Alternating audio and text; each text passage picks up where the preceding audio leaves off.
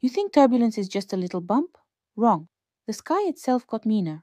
Over the past 40 years, severe turbulence has increased by 55% over the Atlantic. That's not fear mongering, that's hard data. The cause?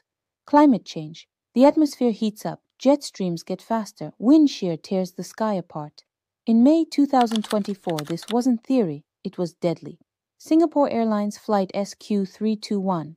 Over Myanmar, the plane dropped 54 meters in seconds. One passenger died. Dozens were hospitalized, all because of invisible clear air turbulence. And the forecast? Buckle up.